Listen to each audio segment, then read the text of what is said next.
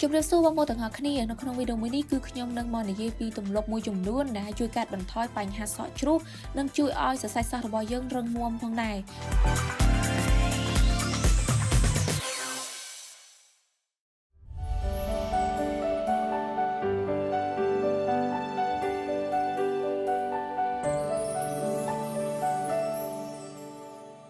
សាប៊ូកក់សក់ក្លិនជាមួយនឹងរូបមន្តនិងបច្ចេកវិទ្យាមកពីប្រទេសកូរ៉េ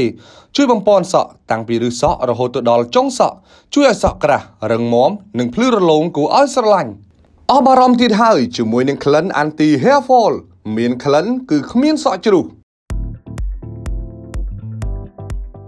ខ្ញុំនិយាយពាក់ព័ន្ធទៅនឹងទម្លាប់មួយចំនួនដែលធ្វើឲ្យសពរបស់យើងជ្រុះខ្ញុំចង់ចែករំលែកបន្តិចថាបងប្អូនមួយចំនួនណានៅពេលដែលគាត់ជួបជាមួយនឹងបញ្ហាសក់ជ្រោះគឺគាត់អត់សូវបានចាប់អារម្មណ៍ទៅលើបញ្ហាទេគាត់តែងតែព្យាយាមទៅរកដំណោះស្រាយក៏ប៉ុន្តែនៅពេលដែលគាត់រកដំណោះស្រាយហ្នឹងគឺវាអត់ត្រូវជាមួយនឹងបញ្ហាទេគាត់គួរតែយល់ពីបញ្ហាដែលធ្វើឲ្យសក់របស់គាត់ហ្នឹងជ្រុះជាមុនសិនចឹងមូលហេតុដែលបណ្ដាលឲ្យសក់ជ្រុះហ្នឹងគឺវាមានកត្តាច្រើនក៏ប៉ុន្តែកត្តាដែលត្រូវបានណែនាំដល់នេះជំនាញសះស្បែកដែលគាត់បានណែនាំឲ្យគ្រប់គ្នាងាកមកចាប់អារម្មណ៍នោះវាព័ន្ធទៅនឹងកត្តាហូបចុកប្រចាំថ្ងៃរបស់យើងបើសិនបើការហូបចុករបស់យើងមិនបានល្អរាងកាយរបស់យើងនឹងខ្វះសារធាតុប្រូតេអ៊ីនវីតាមីនឬក៏កត្តាលាមកធំបំផុតដែលធ្វើឲ្យសក់របស់យើងជ្រុះរាល់ថ្ងៃនោះគឺបងប្អូនទាំងអស់គ្នាធ្លាប់ដឹងហើយគឺកត្តា stress អញ្ចឹងនៅពេលដែលយើង stress ខ្លាំងវាក៏ធ្វើឲ្យអរម៉ូននៅក្នុងរាងកាយរបស់យើងនឹងវាប្រែប្រួលដែរក៏ប៉ុន្តែមនុស្សបច្ចុប្បន្នរស់នៅក្នុងសម្ពាធមួយគឺសម្ពាធការងារសម្ពាធការសិក្សាឬក៏សម្ពាធផ្សេងផ្សេងអញ្ចឹងទៅវាអាចជៀសបំផុតទេក៏ប៉ុន្តែយើងក៏មិនដោយឲ្យអារម្មណ៍របស់យើងនឹងវា stress ខ្លាំងពេកកាលណាដែល stress ខ្លាំងពេកអរម៉ូននៅក្នុងរាងកាយរបស់យើងនឹងក៏វាប្រែប្រួលវាធ្វើឲ្យរាងកាយរបស់យើងក៏ដូចជាអារម្មណ៍របស់យើងអត់ល្អផងដែរក៏ប៉ុន្តែឥឡូវខ្ញុំមកប្រាប់បងប្អូនទាំងអស់គ្នាមួយចំនួនវាព័ន្ធទៅនឹងរបបអាហារប្រចាំថ្ងៃដែលជួយបងប្អូនទាំងអស់គ្នាមានសរសៃសក់ដែលល្អណាទី1គឺព្យាយាមញ៉ាំសាច់ត្រីសាច់ក្រហមបន្លែបៃតង និងបន្លែពណ៌លឿងផ្លែឈើឲ្យបានច្រើនក្រុមអាហារទាំងអស់នេះវាគឺជាផ្នែកធំដែលជួយឲ្យសាច់សក់របស់យើងនឹងរឹងមាំពីព្រោះក្នុងផ្លែឈើនិងសាច់ត្រីគឺវាសម្បូរទៅដោយវីតាមីនហើយនិងប្រូតេអ៊ីនច្រើនចំពោះសាច់ត្រីបងប្អូនមិនចាំបាច់ទៅត្រីដែលថ្លៃទេយើងជាយើងញ៉ាំសាច់ត្រីធម្មជាតិរបស់យើងក៏បានដែរដូចជាត្រីរ៉ស់ឬក៏ត្រីផ្សេងផ្សេងដែលបងប្អូនទាំងអស់គ្នាអាចរកទិញបានកូនត្រីសុទ្ធសឹងតែជាអាហារដែលសម្បូរទៅដោយវីតាមីន អញ្ចឹងក្រៅពីសាច់ត្រីអីហើយខ្ញុំចង់ណែនាំចំពោះផ្លែឈើមួយចំនួនដែលអាចជួយឲ្យសក់របស់យើងល្អទី1នោះគឺផ្លែប័រ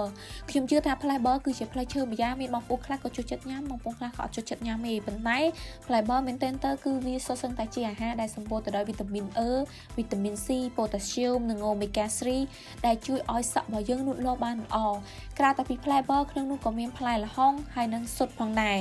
ស៊ុតគឺងាយស្រួលនៅក្នុងការរកទិញតម្លៃក៏ធូរថ្លៃផងដែរនៅក្នុងប្រភព Hotline គេបាននិយាយថាប៉ះសិនបើយើងជួបជាមួយនឹងបញ្ហាជ្រុះសក់ច្រើនណាវាអាចបណ្ដាលមកពីកត្តា stress ឬក៏អារម្មណ៍តាប់ប្រមល់របស់យើងឬក៏ការញ៉ាំអាហារដែលមិនបានគ្រប់គ្រាន់ហើយមនុស្សភាគច្រើននៅពេលដែល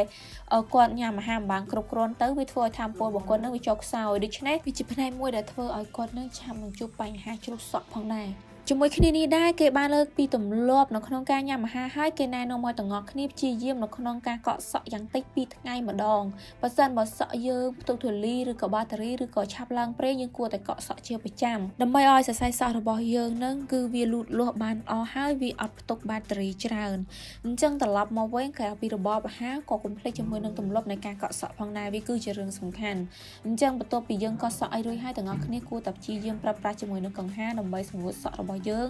ឬក៏អាចប្រើជាមួយនឹងម៉ាស៊ីនផ្លុំសក់ក៏បានដែរតែយកកុំយកក្តៅពេកពីព្រោះវាអាចនឹងធ្វើឲ្យស្បែកក្បាលរបស់យើងឆាប់ស្ងួតឬក៏ឆាប់ឡើងប្រេងលឿនអញ្ចឹងទៅអញ្ចឹងត្រឡប់មកវិញកុំភ្លេចញ៉ាំជាមួយនឹងប្រភេទអាហារដែលល្អអាហារដែលបើទៅកាន់សក់ក្បាលនិងស្បែកក្បាលរបស់យើងទី2កុំខ្ជិលនៅក្នុងការកក់សក់ខ្ញុំមានប៉ុណ្ណឹងនៅក្នុងការចែករំលែកជូនជួបគ្នាជាមួយនឹងខ្ញុំស៊ីថានៅវីដេអូក្រោយ